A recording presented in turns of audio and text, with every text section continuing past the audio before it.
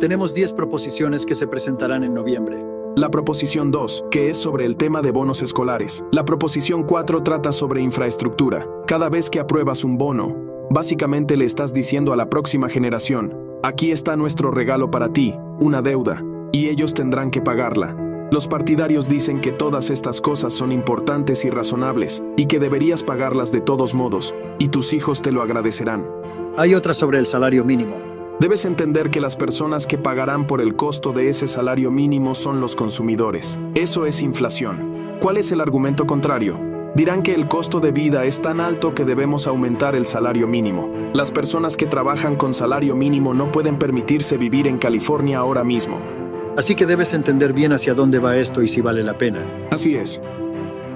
Mi invitado hoy es Will Swain, presidente del Centro de Políticas de California. Hoy está aquí para contarnos qué iniciativas de votación esperamos ver en la elección de noviembre. Will intentará argumentar ambos lados de estos temas y contarnos de qué tratan estas proposiciones. En California desde adentro nos gusta mostrarle ambos lados del argumento y múltiples lados del argumento para que pueda formarse su propia opinión. Ahora, ¿qué pasa con la proposición 35? Una de las más complicadas. Voy a llamarla una estafa. Así que te detienes, como lo hice yo cuando leí esto y dices, ¿eh? ¿Por qué alguien querría autoimponerse un impuesto? Aquí es donde el misterio se vuelve realmente fascinante. Soy Siyama Korrami. Bienvenidos a California desde adentro. Will, es genial tenerte de vuelta. Bienvenido de nuevo. Gracias, gracias por invitarme. Queremos hablar contigo sobre las proposiciones de votación. La última vez que viniste aquí tuvimos una discusión sobre estas hace unos años, y repasamos qué eran y qué significaban después de la elección. Esta vez queremos hablar contigo sobre ellas antes, porque mucha gente quería saber sobre ellas, y quería que las discutiéramos antes de las elecciones que se avecinan. Sí, creo que lo bueno de una conversación sobre estas medidas de votación es que plantean preguntas realmente fundamentales sobre cómo se ve el papel del gobierno en California, y así plantea principios básicos, preguntas fundamentales de economía, preguntas sobre el gobierno, preguntas filosóficas. Tenemos cinco que están numeradas 2, 3, 4, 5 y 6. Luego tenemos cinco más que están numeradas 32, 33, 34, 35, 36. Así que vamos a hablar primero de las numeradas del 2 al 6. Notemos que tres de estas realmente tratan sobre bonos, y los bonos, B-O-N-O-S, son un instrumento financiero que los gobiernos utilizan para recaudar dinero para gastar en algo. Ahora solían gastarlo literalmente en algo, como una presa, una carretera o un puente. Cada vez más, vemos que los bonos se utilizan aparentemente, eso significa supuestamente, para una cosa. Pero de hecho, es para que el gobierno tenga más dinero para pagar operaciones gubernamentales, especialmente para empleados o el costo de alquilar edificios, ese tipo de cosas. Así que la proposición 2 trata sobre la construcción de instalaciones escolares. Ahora, hay un detalle interesante en esto. La proposición 2 establece un fondo de igualación estatal. Eso significa que si un bono local se aprueba, será igualado dólar por dólar por los contribuyentes del Estado. Así que tú y yo estamos aquí en el condado de Orange. Si alguna comunidad local realmente aprueba un bono escolar local para construir, para rehabilitar sus edificios o construir un campo atlético. Mejorar sus edificios. Correcto, correcto. Todo esto suena muy razonable, pero ahora hay una bonificación adicional en esto. Y si apoyas esto dirás, bueno, esto es realmente genial. Los contribuyentes estatales en todas partes de California te igualarán dólar por dólar en tu bono local, lo que hace que los bonos locales sean más emocionantes y atractivos. Nuevamente, porque vamos a pagar esto con el tiempo, quiero señalar algo más. Hay un pago de intereses en esto. Estás entrando en un bono. Estás pidiendo dinero prestado, llamémoslo Wall Street de manera general, ¿verdad? Lo estás pidiendo prestado a instituciones financieras. Estás pidiendo este dinero. 10 mil millones de dólares, 20 mil millones de dólares, lo que sea. Lo estás pidiendo prestado a una firma de Wall Street. La firma de Wall Street quiere ganar dinero con eso. Son el banco, por así decirlo. Van a cobrar intereses. Van a cobrar intereses. Así que ahora tenemos un bono que se anuncia, solo inventemos un número, en 5 mil millones de dólares en tu comunidad local, ¿verdad? Bueno, el Estado lo igualará. Así que ahora hay un costo de 10 mil millones de dólares. ¿La igualación sale de estos 10 mil millones de dólares? Sí, La proposición 2 es una igualación para el bono local, así que solo quiero que la gente piense en esto porque van a ver esto en la publicidad que apoya un bono, como, oye, si votas por este bono, será igualado por Sacramento. Bueno, Sacramento también eres tú y tus vecinos y personas que viven en todo el estado. Así que ahora el bono de 5 mil millones de dólares se convierte en un bono de 10 mil millones de dólares debido a la igualación. También hay intereses en esto durante 30 años. Eso es otros 5 mil millones de dólares. Así que ahora este bono que se anuncia en 5 mil millones de dólares está costando al Estado de California y a los contribuyentes locales un total de 15 mil millones de dólares. Y sé que eso es mucho matemáticas para una conversación, pero mi punto es, ten cuidado, porque las personas que pagan esto generalmente no somos nosotros. Voy a ser completamente franco aquí y decir que tengo 64 años. No voy a estar aquí en 30 años. Te ves mucho más joven. Oh, bueno, eso es realmente bueno, pero no me salvará de la muerte. No es probable que pague algunos de los bonos que se aprueben este año. Si las tablas actuariales son correctas, habré desaparecido hace mucho tiempo. Pero mis hijos estarán aquí, y mis nietos estarán pagando esto. Y la pregunta es, ¿realmente quiero aumentar los costos de vida en California para ellos? Porque cada vez que apruebas un bono, básicamente le estás diciendo a la próxima generación, aquí está nuestro regalo para ti, una deuda, y ellos tendrán que pagarla. Así que realmente quieres tener cuidado. ¿Cuáles son otros bonos? Claro. Así que eso fue el número 2. La proposición 4 es diferente. Para parques. Para parques es correcto. Bueno, lo habían llamado solo un bono para parques, luego un bono para agua y luego un bono para el clima. Y ahora creo que incluye todas esas cosas. Infraestructura, infraestructura de agua. Sí, exactamente. ¿Cuál es ese viejo chiste sobre un camello, que es un animal que ha sido ensamblado por un comité? Ese es este bono. Sabes, creo que realmente lo han enfocado en grupos, los partidarios de este bono. Han conseguido una coalición más grande de personas que pueden respaldarlo.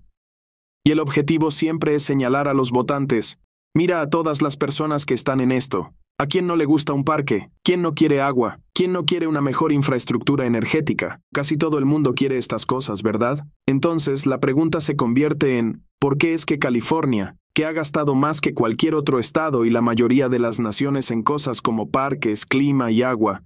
¿Por qué no hemos construido una presa en 40 años? ¿Por qué tenemos un sistema eléctrico que está envejeciendo y que generalmente cuando hay un viento fuerte inicia un incendio forestal? Mucho de esto es por infraestructura y malgasto, argumentaría. Pero los partidarios dicen como, mira, mira, mira, tenemos que detener el problema del cambio climático. Tenemos que tener más agua porque el agua se está volviendo más escasa debido al cambio climático. Necesitamos una mejor infraestructura energética. Necesitamos más parques. Pero el hecho es, nuevamente, como mencioné con la proposición 2, tienes que pensar en el hecho de que esto es solo un bono, es un impuesto con otro nombre, y es un impuesto que puede que no solo estés pagando, sino que tus hijos y sus hijos estarán pagando, tus vecinos están pagando. Esto también aumentará el alto costo de vida en California. Los partidarios dicen que todas estas cosas son importantes y razonables y que deberías pagarlas de todos modos, y tus hijos te lo agradecerán. Que esta es una pregunta realmente interesante. Tienes que considerar esos hechos de que vas a pagar muchos intereses. Y luego, si quieres votar por ello, entonces puedes pensar si esos proyectos valen la pena. Bueno, lo interesante de la proposición 2 es que la mayor parte del dinero, esto no les gusta a los grupos progresistas tampoco, no les gusta la proposición 2, y estos progresistas son a veces maestros y distritos escolares pobres, y los distritos escolares pobres en sí mismos porque señalan que los lugares donde los bonos tienen más probabilidades de aprobarse son en distritos más ricos. Los distritos más ricos tienden a obtener de 4 a 5 mil dólares más por estudiante, porque aprueban más bonos. Así que la proposición 2, los progresistas señalan señalarían. Cuando hablo de progresistas, estoy hablando de, en términos generales, liberales de izquierda. Llamémoslos personas que están a la izquierda en el Partido Demócrata. No les gusta esto porque lo ven, con razón creo, como exacerbando la disparidad de ingresos, la disparidad de riqueza, la desigualdad, y eso es algo más a tener en cuenta con la proposición 2. Así que la otra cosa a tener en cuenta, tienes la proposición 2, que es un tema de bonos escolares, que establece ese fondo de igualación que describimos. Tienes la proposición 4, que trata de parques, agua, energía, clima, infraestructura, y luego tienes la proposición 5. Ahora, esta es una de esas que requieren más matemáticas, así que probablemente ya hemos perdido a la mitad de nuestra audiencia en este punto. Todos los profesores y maestros de matemáticas están realmente emocionados, pero en California tenemos una ley que dice que si vas a aprobar un aumento de impuestos a las personas o un bono, si vas a poner un bono en la boleta electoral, tiene que aprobarse con un 66.75. Dos tercios de los votos. Dos tercios. Sí, gracias, doctor. Sí, tienes que aprobarlo con dos tercios de los votos. A las personas que les gustan los bonos no les gusta eso. Quieren bajar el requisito al 55%. Para que sea más fácil de aprobar. Para que sea más fácil de aprobar. Así que ten en cuenta que la proposición 2 establecería un fondo de igualación para bonos que los hace más atractivos. La proposición 4, clima, agua, energía, infraestructura. La proposición 5 dice, queremos hacer que sea más fácil aprobar todas estas cosas en el futuro, así que vamos a bajar el mínimo de votos requeridos para aprobar un bono. Entonces, eso cambia drásticamente todo el panorama político de cómo la gente pone iniciativas de bonos en la boleta electoral y si van a aprobarse. Y la proposición 5 era más específica en infraestructura y vivienda, ¿verdad? Sí, eso es correcto. Así que intenta hacer una excepción y dice vivienda, pero lo que realmente significa es vivienda de bajos ingresos, y lo que realmente significa entonces es que vamos a aprobar un bono para construir viviendas de bajos ingresos, que el gobierno construirá, y luego podemos eludir la supermayoría habitual, esa del 66%, dos tercios de la mayoría de votantes. Y esos dos tercios vienen de la proposición 13, ¿verdad? Eso es correcto. Sí, que es una proposición muy popular. Muy popular. Así que esta es una forma de evitar eso. Los californianos son notoriamente tacaños para aumentar impuestos, como deberían ser, ¿verdad? Porque los impuestos hacen que sea más caro vivir, y la gente está constantemente, con razón, quejándose del costo de vida en California. Los bonos son un impuesto, no porque la gente esté tratando de ocultar algo, sino porque así es como funciona un bono. Así que realmente tienes que entender hacia dónde va y si vale la pena cuando estás votando. Así es. Ahora, ¿qué pasa con la proposición 3? Bueno, la proposición 3 es una interesante, y tenemos que repasar un poco de historia aquí. Afortunadamente soy mejor en historia que en matemáticas, pero en 2008, los votantes de California aprobaron la proposición 8, que prohibía el matrimonio entre personas del mismo sexo. Definía el matrimonio solo como la unión entre un hombre y una mujer, pero California, en 2008, estaba muy lejos de lo que es en 2024. La Corte Suprema de los Estados Unidos eventualmente anuló eso. La Corte Suprema de los Estados Unidos anuló la Proposición 8 y dijo, no, esta es una decisión que deben tomar los adultos. Los adultos que consientan pueden tomar esta decisión. Sin embargo, curiosamente, la Proposición 8 todavía está incrustada en la ley estatal. No es efectiva porque ha sido prohibida, anulada por la Corte Suprema. Pero sigue ahí, y esto realmente molesta a algunas personas. Entonces, los partidarios de la Proposición 3 dicen que esto es un proyecto de ley de limpieza. Lo que realmente estamos haciendo aquí es simplemente actualizar lo que está en la ley estatal. Estamos limpiando una ley que ya no debería estar ahí porque la ley federal básicamente la ha anulado. Sin embargo, hay otras personas, opositores que dicen, ¿sabes qué? Cada vez que la legislatura de California pone un proyecto de ley de limpieza en la boleta electoral estatal, lo que realmente quieren decir es que vamos a limpiar las cosas a nuestro favor y ampliar derechos en alguna otra área que ni siquiera puedes anticipar. Así que mi propia opinión es que las personas tienen derecho a llegar a su propia opinión sobre esto. Hay otros conservadores sociales que dicen, creo que el matrimonio solo debe ser entre un hombre y una mujer y la Corte Suprema de los Estados Unidos, que se vaya al carajo. Realmente necesitamos limpiar esto. Realmente necesitamos asegurarnos de que el matrimonio solo sea entre un hombre y una mujer. Hay otros que dicen que ese barco ya zarpó, y la Corte Suprema lo dejó muy claro justo después de que se aprobó la Proposición 8 al anularlo y hacerlo ilegal. Hay otra proposición, la Proposición 6 que tiene que ver con los prisioneros trabajando. Entonces la Proposición 6 dice que elimina el trabajo involuntario, la servidumbre involuntaria, lo llaman. Y esa es la práctica en las prisiones de California de exigir a los prisioneros que realicen algún trabajo para pagar su propio mantenimiento. Eso podría ser trabajar en la lavandería de la prisión, podría ser hacer mantenimiento en la prisión, podría ser trabajar en la cocina de la prisión. Incluso podría significar para algunas personas que obtienen estos trabajos realmente codiciados, salir a combatir incendios forestales, lo que puedes imaginar para algunos prisioneros estar encerrados en su celda todo el día, no es tan atractivo como salir a trabajar en la cocina, y mucho menos salir al aire libre, incluso para trabajos muy peligrosos como combatir incendios. Ahora, los defensores de este proyecto de ley dicen que esto es equivalente a la esclavitud. Voy a revelar toda mi filosofía personal sobre esto. Creo que los prisioneros están, por definición, en prisión de manera involuntaria. No fueron allí porque lo hayan elegido. Eso es lo primero. La prisión en sí es un lugar involuntario para estar. En segundo lugar, las víctimas de tus crímenes no se ofrecieron voluntariamente para ser víctimas. En tercer lugar, creo que no es justo para los contribuyentes de California decir de repente, no, no, tómate un descanso. Nosotros pagaremos por todo. Creo que es razonable pedir a las personas que ayuden a pagar los costos de su encarcelamiento.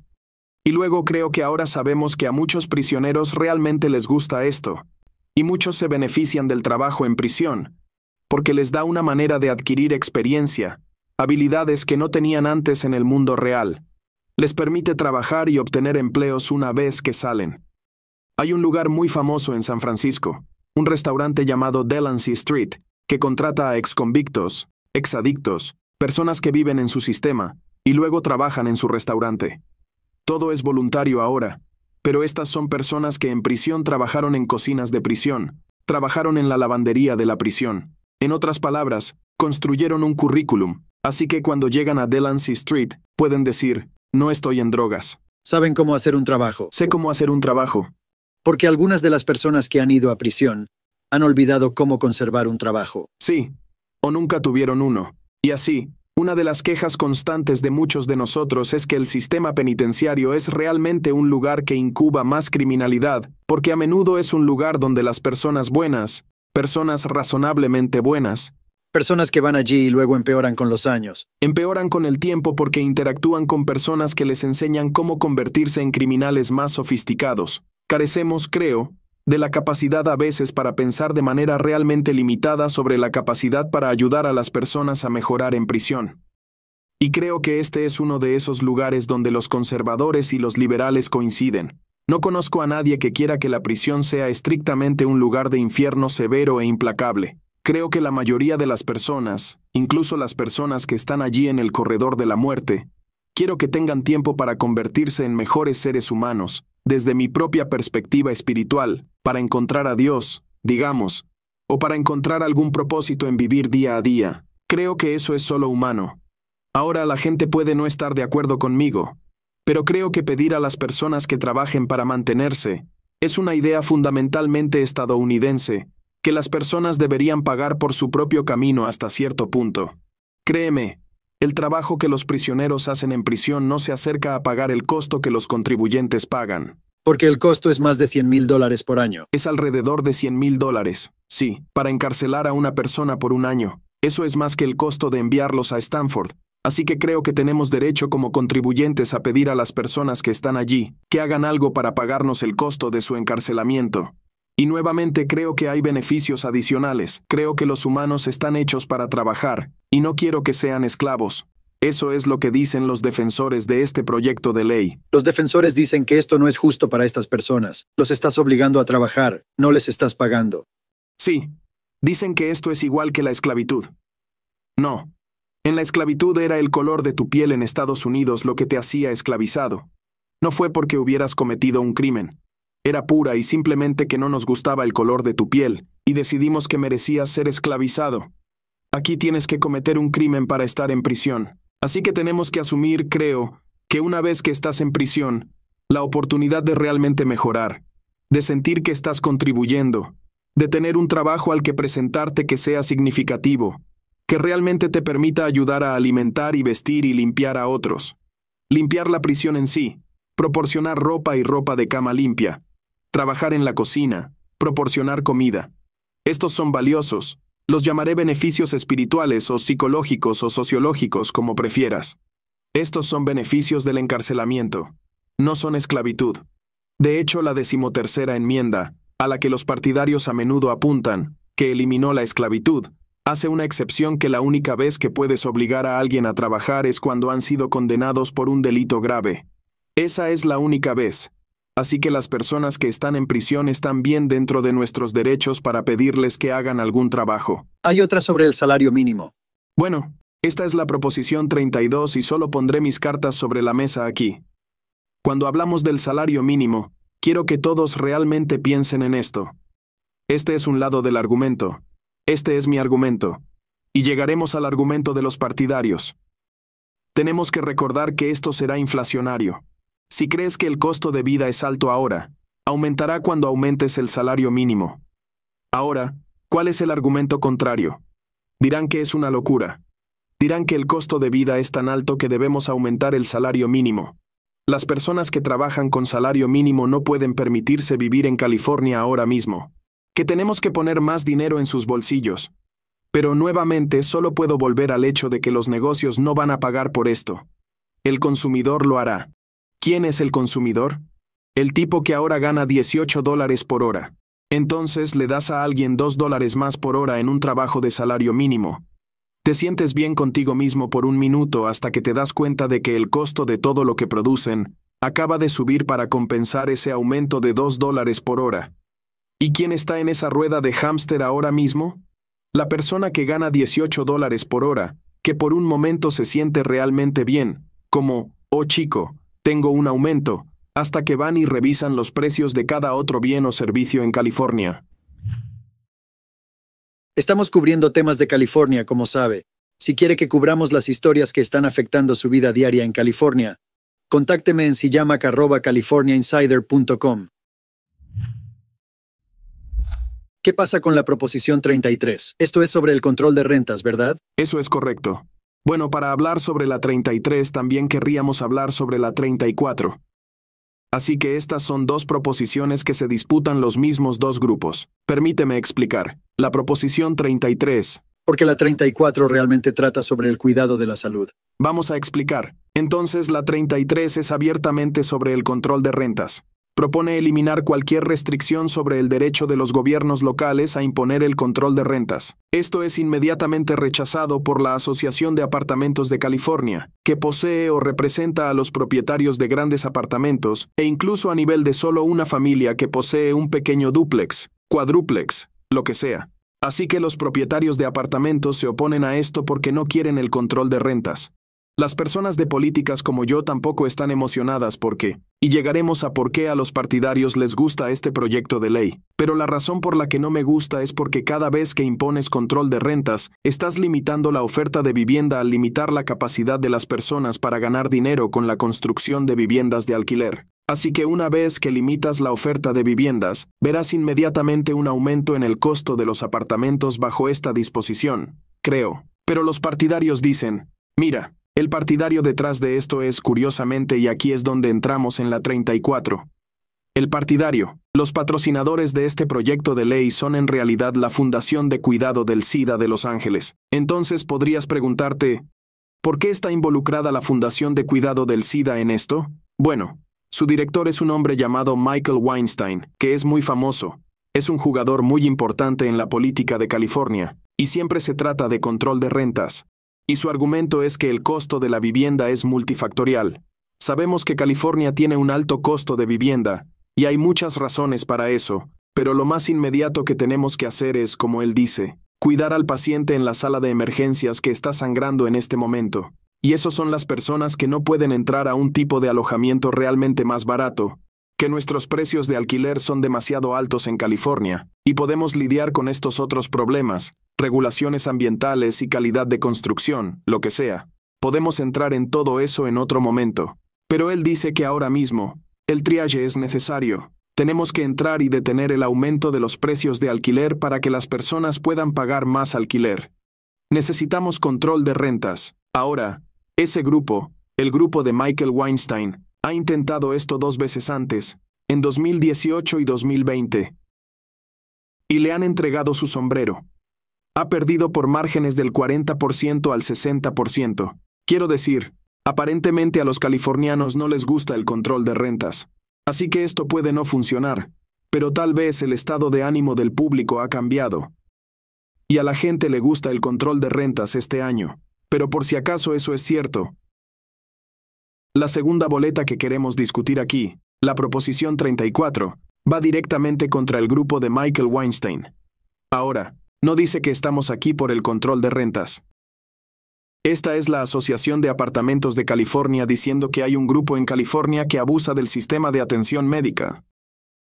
Y ellos identifican de dónde obtiene Michael Weinstein el dinero para financiar estas iniciativas muy, muy costosas. Realizar una medida electoral en California cuesta decenas de millones de dólares. ¿Cómo obtiene Weinstein, que dirige una fundación de atención médica, este tipo de dinero?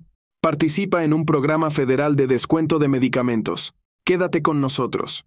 Entonces, el gobierno federal negocia el precio de algunos medicamentos, incluidos los medicamentos para el SIDA.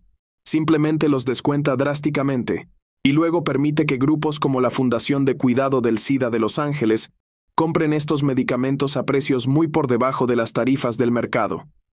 Michael Weinstein agrupa, da vueltas y revende los medicamentos a través de sus farmacias y a organizaciones de atención gestionada a un precio mucho más alto.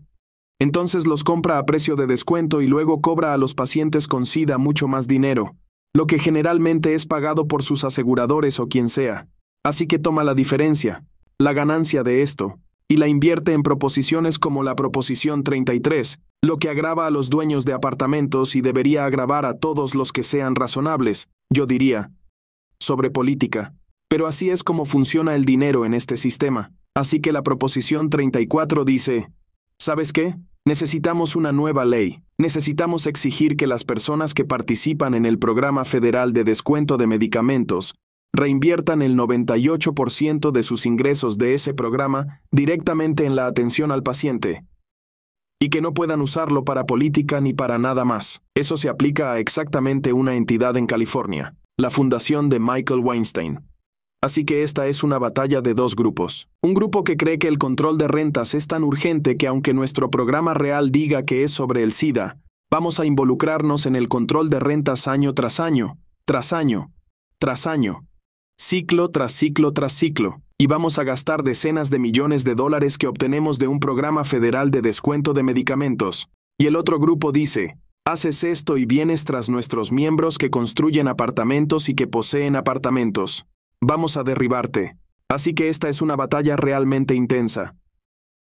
Y dependiendo de tu sentido de la justicia, de lo correcto, de lo bueno de usar un programa federal de descuento de medicamentos para financiar tu operación política, hasta ahora nadie ha declarado que es absolutamente ilegal, y ha llevado a Michael Weinstein a los tribunales. Y Weinstein mismo declara, esto es totalmente razonable lo que estoy haciendo. Estoy participando en un bien social. Esto es una empresa social que tengo en marcha. O si como yo, piensas que el control de rentas es peligroso y desastroso, estas son un par de proposiciones de boleta electoral a las que realmente querrás prestar mucha atención. La 33, nuevamente, eliminaría cualquier restricción sobre el control de rentas. La 34 socavaría el modelo que Michael Weinstein ha utilizado para impulsar proposiciones de control de rentas. Así que ahí lo tienes. Espero que eso sea claro como el barro.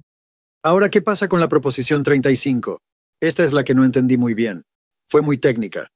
Para mí la proposición 35 es una de las más complicadas. Voy a llamarla una estafa. Realmente, y lo siento, tengo que decirlo de esta manera. Esto es lo que dice, y puedo entender su atractivo popular. Puedes entender por qué la gente miraría esto y diría, ¿sabes qué? Deberíamos grabar más a las empresas de cuidado administrado porque son parte del sistema de salud. Probablemente están ganando mucho dinero. Vamos a grabarlos a una tasa más alta. ¿Cuáles son esas empresas? Las organizaciones de cuidado administrado a menudo son casi agencias cuasi gubernamentales. Tenemos Medicare. Casi todos conocen el programa federal llamado Medicare, pero en California, el sistema que administra ese sistema federal se llama Medical, ¿verdad? Muchos estados tienen este tipo de sistemas estatales locales. Nuestro sistema de medical, a su vez, es administrado frecuentemente por empresas o agencias locales cuasi públicas, por lo que podrías tener Cal Optima, por ejemplo, en Los Ángeles. Lo siento, en el condado de Orange, se llama LA Help, en el condado de Los Ángeles. Pero hay este tipo de agencias gubernamentales. Son como agencias gubernamentales. Son agencias gubernamentales administradas por el condado que operan con otros grandes proveedores, como Anthem, Blue Cross, Kaiser. Entonces, lo que esta ley dice es, ¿sabes qué? Deberíamos grabar a esos sistemas de cuidado administrado para ayudar a pagar los costos de la atención médica. Deberían pagar más impuestos. Bueno, aquí está lo interesante. Son las organizaciones de cuidado administrado las que pagarán el impuesto, y que también son las defensoras de este impuesto. Así que te detienes como lo hice yo cuando leí esto y dije, ¿por qué alguien querría grabarse a sí mismo? Aquí es donde el misterio se vuelve realmente fascinante. Se grabarían a sí mismos porque si les damos un dólar y pagan, digamos 10 centavos en impuestos, sobre ese dólar solo para fines de esta proposición de boleta, pagan 10 centavos en ese dólar, el 10%. Esos 10 centavos van a esta nueva cuenta estatal para medical. Ahora el gobierno federal dice, como parte de la ley federal, igualamos todo lo que recaudas en ese sistema. Así que te daremos 10 centavos por cada 10 centavos que recaudes. Ahora, el sistema estatal medical tiene 20 centavos, ¿verdad? Obtuvo 10 de la Organización de Cuidado Administrado y obtuvo 10 centavos del gobierno federal. Ahora tiene 20 centavos. ¿Dónde va a gastar ese dinero? Con la Organización de Cuidado Administrado que acaba de grabar. Así que ahora le da esos 20 centavos a la compañía local de cuidado administrado, que paga el 10%, o en este caso, ahora 2 centavos de vuelta al sistema, que ahora es igualado por el gobierno federal, y regresa al sistema de cuidado administrado que fue grabado. Si eso suena como un juego de trileros, es porque lo es. Esta es una de las proposiciones de boleta más divertidas que tenemos en términos de la forma en que está organizada. Es como uno de esos juegos que tenía cuando era niño, donde una bota baja y patea un balde y una pelota rebota y baja por una escalera y arroja un ratón en una cesta. Es increíble. ¿Qué dicen los proponentes sobre esto? Los proponentes dicen que es hora de grabar a los ricos, con lo cual se refieren a estas organizaciones de cuidado de salud administrado. Es hora de que los ricos paguen su parte justa, porque tenemos una crisis de atención médica que debe resolverse ahora mismo. Ahora saben cómo está realmente configurado el sistema para diseñar esta contribución de los contribuyentes federales para incrementarlo. Lo entienden y supongo que tienen razón en el sentido de que traerá más dinero federal al sistema, pero no porque esté realmente recaudando impuestos sobre ellos en los proveedores locales. Así que esto es realmente un intento de obtener dinero federal, y será interesante ver si alguna agencia federal interviene y dice, no puedes hacer eso. Así que es un juego a largo plazo. Y el sistema es tan complicado que, nuevamente, es una de esas cosas de las que tú y yo hemos hablado muchas veces antes, que es que cuando el votante entra en el lugar de votación y entra en la cabina y cierra la cortina detrás de ellos, o más probablemente se sienta en casa en la mesa de la cocina y lee esto una noche bajo una pequeña luz, dicen, no entiendo esto en absoluto. O dicen, creo que es hora de que los ricos paguen su parte justa. Estoy a favor de más impuestos. ¿Qué hay sobre la proposición 36? Trata sobre la drogadicción y el crimen. Esta propuesta 47 ajusta la propuesta 47. Sí. Lo que hace esta proposición es derogar partes de o enmendar. No la deroga.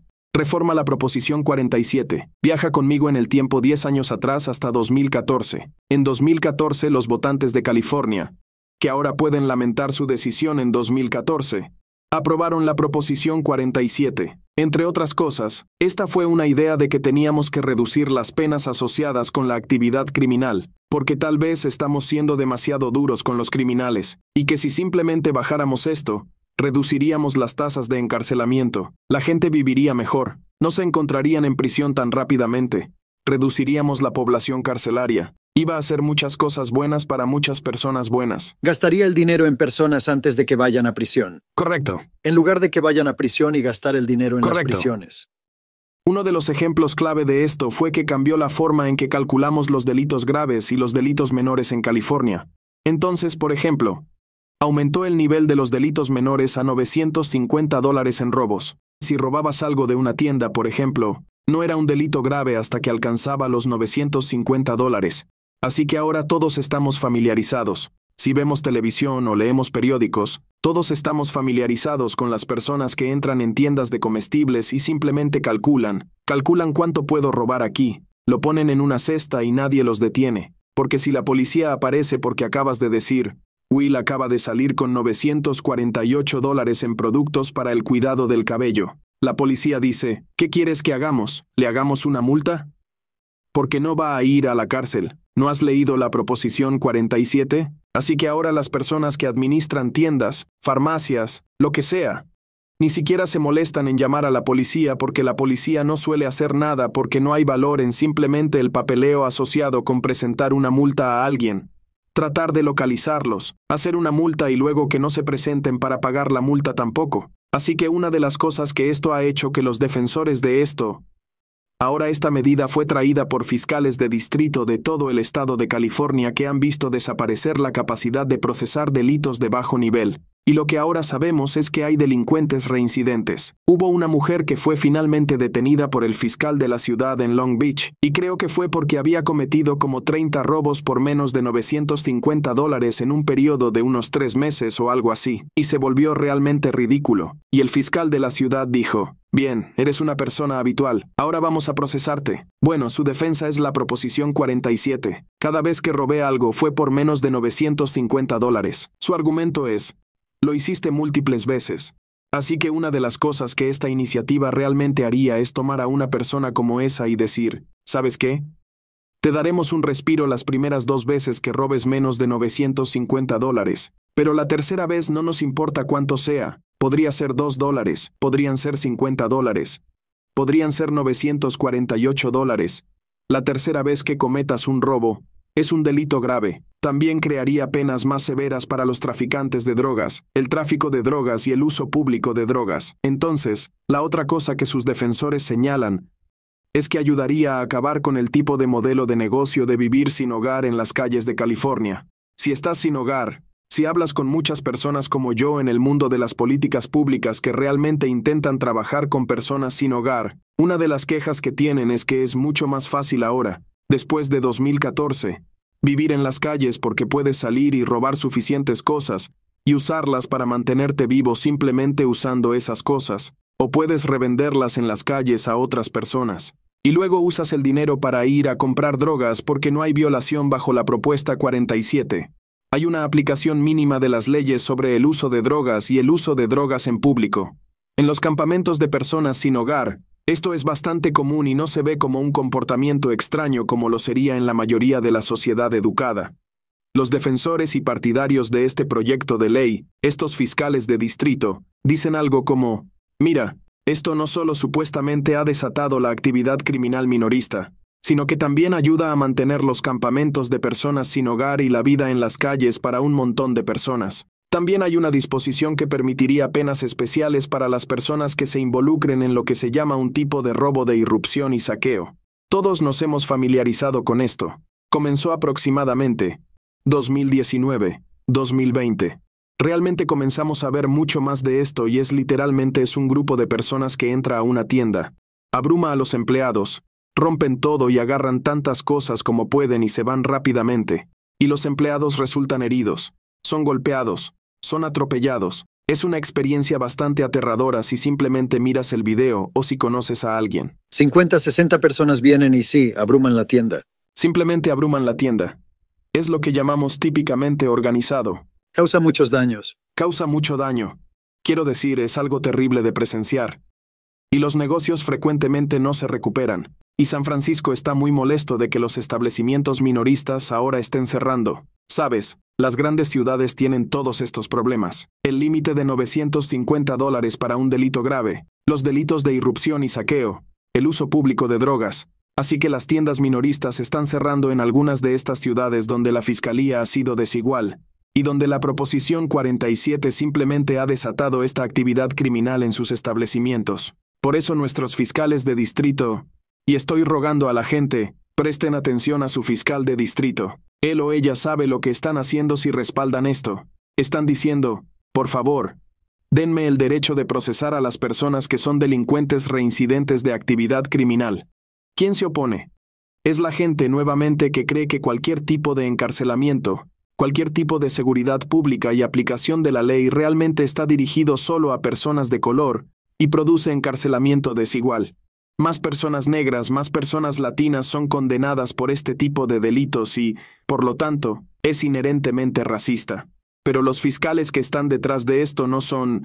Creo que es seguro decir que no están haciendo esto porque son racistas. Lo están haciendo porque no les gusta el crimen. Y al público no le gusta el crimen típicamente. Las personas que se ven más afectadas negativamente por este tipo de crimen son personas en las ciudades interiores donde los defensores públicos, lo siento, donde los fiscales públicos simplemente han dicho, no vamos a hacer cumplir ninguna ley más. ¿Crees que también tienen miedo de que muchas personas vayan a la cárcel? ¿Es ese un argumento? Sí.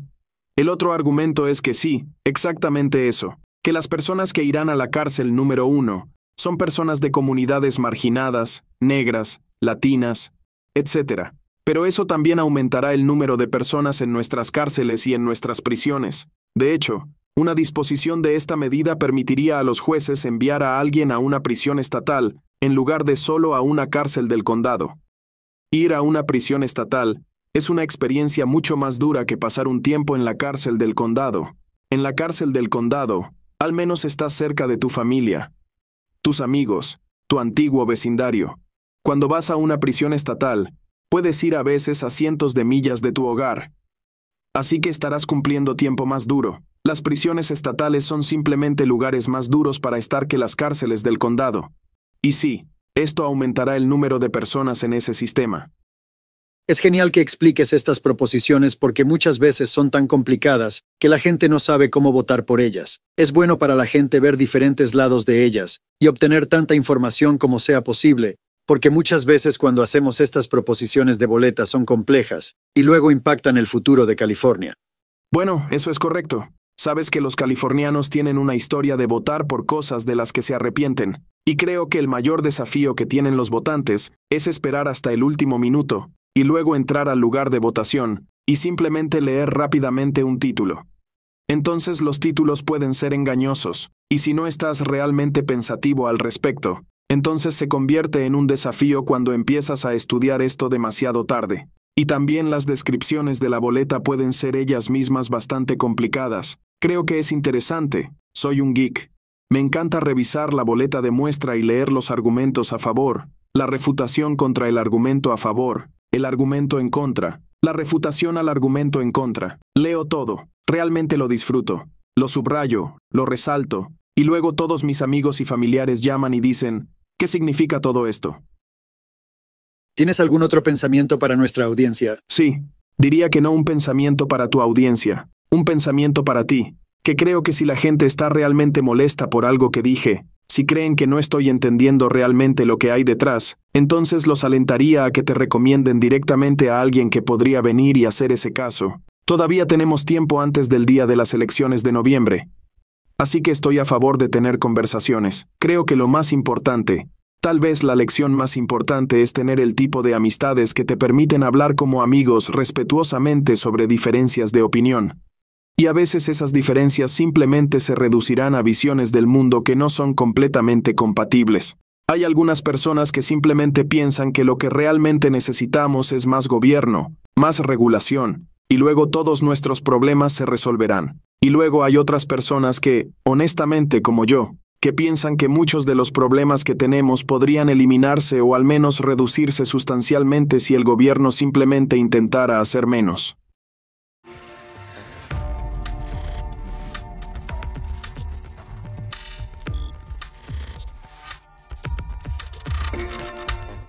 Sabes, y esto es lo que realmente aprecio sobre este país, porque muchas personas con diferentes puntos de vista se juntan y trabajan juntas. Hemos estado perdiendo algo de eso en los últimos años, pero en general, este es un lugar donde la gente es muy abierta y trabaja junta, así que es correcto. Nos encantaría que otras personas vinieran y explicaran sus lados.